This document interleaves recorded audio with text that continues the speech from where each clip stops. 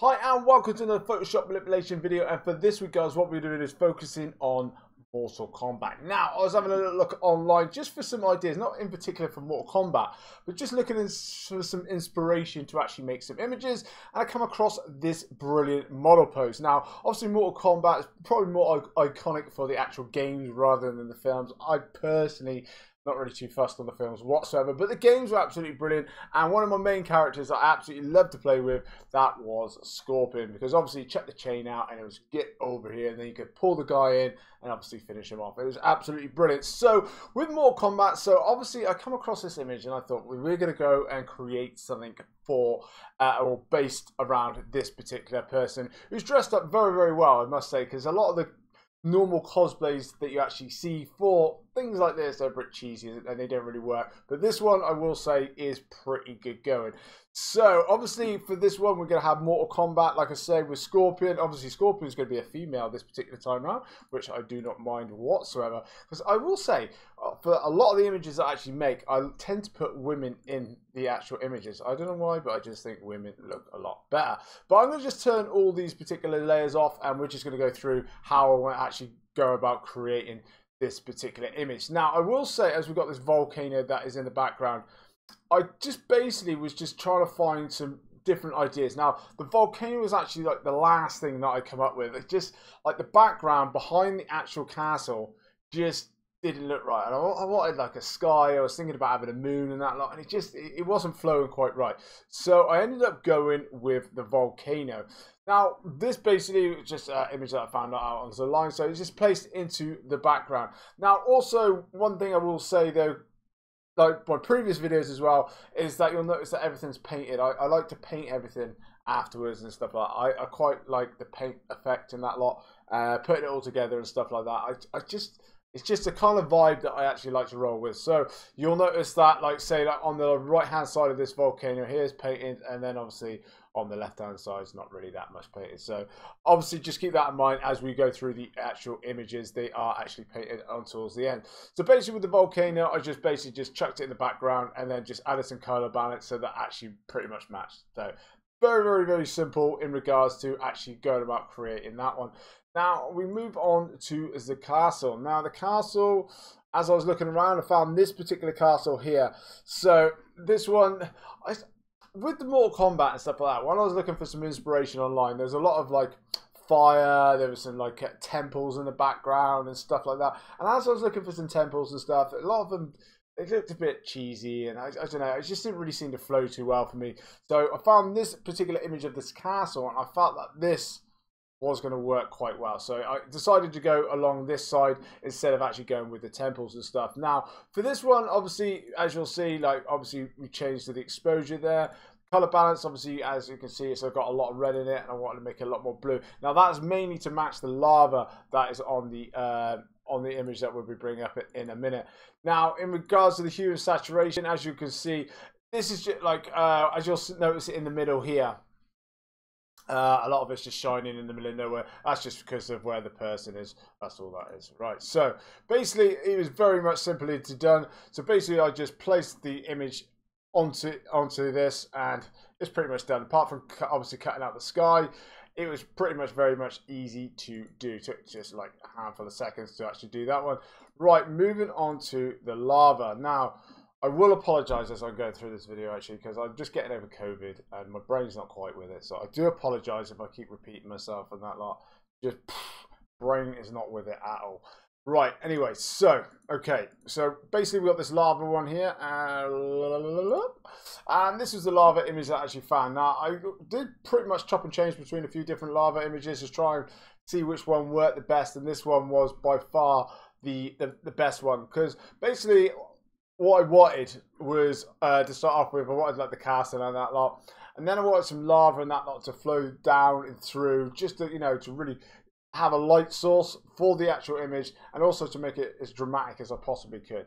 So for this one, obviously, as you can see, it's just a slight color balances just to change certain areas because one thing I found here on the left hand side it didn't quite match the rocks for the castle as what it did for on the right hand side two different things really. So I, I changed pretty much the color balance for both of them just to get it so it's looking right. Then obviously, as you can see, basically it's just gone straight through the center here, just so that we can think. And obviously, I just placed it onto the rock, as you can see, like that. Pretty, pretty straightforward. Nothing really too crazy or anything else like that for that one to be done.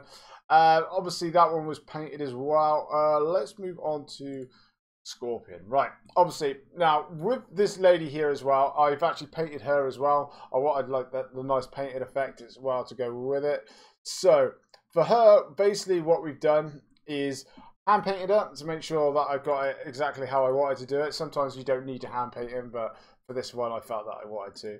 Uh, so obviously one of the main ones is just putting some exposure on. Obviously you'll notice that on the on the actual white here, as you can see, I've taken some of it away just for these particular highlights uh, that are going down to the left-hand side of the body and the right-hand side of the body as well. And then we also have some levels as well, just to make those little changes. And then obviously, as you can see with the hue and saturation, basically we've just got some highlights. Now, I know a lot of people like to really, really over-exaggerate the highlights and stuff like that. I don't tend to put too much highlights onto my particular subjects. And if I do, I try to keep it to a minimum, kind of make it a bit more realistic. I understand everyone goes for the cartoon kind of feel. I, I, I don't, I really just can't get with it whatsoever. I actually quite like the way that some people make those images. I just don't think that they suit the kind of things that I like to make. So as you can see with this one, it's just basically just some basic highlights just to go around these certain areas up here onto the hands and stuff like that. Because obviously we've got the light source coming from the lava here, and obviously we've got the lava spewing out at the top here as well. So basically that was it for her really. It wasn't really anything too crazy, apart from like obviously painting her up and that lot as well. Uh, that was like the, the longest part of this and then basically just cutting her out and just making those particular corrections. Then we're moving on to the actual the chain and, uh, and that lot. Now this is the only thing that took me a little while to actually find something that actually really worked, and it was a right pain in the butt to actually find a particular chain. So as see as we see here now, we got this is the chain here. So I just use this one chain here. And obviously it's not real and doesn't look real. But once everything's painted, obviously then it all matches and that all. So it's pretty much straightforward. So for the first part, I just placed it down here. So if we just zoom in quickly here, what we got is we've got some highlights in that lot onto the top of the chain as well. Uh, but as you notice is what I've done is I placed it so that the chain goes in between her hand and the back of her leg there. So the idea is then it is basically just rushing up around the back of her here and going up behind her back and obviously over the top of the arm there as well. So for that one, it's pretty much straightforward. I just basically just put that one on there. The only one that I really had to make some changes with is this top chain here. Uh, basically with these ones as well, uh, obviously, I've done the exposure because it's obviously a lot brighter. Changed the color balance as well, and also added some highlights to uh, obviously to the uh, where the light source is coming from and reflecting off of the chain itself. Now, for this one, I did have to use the warp and that lot just to try and get it so that is actually right.